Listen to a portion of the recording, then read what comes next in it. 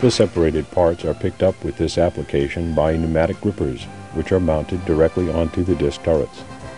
The two-axis motion of the turrets are controlled by ball screws and CNC axis drives.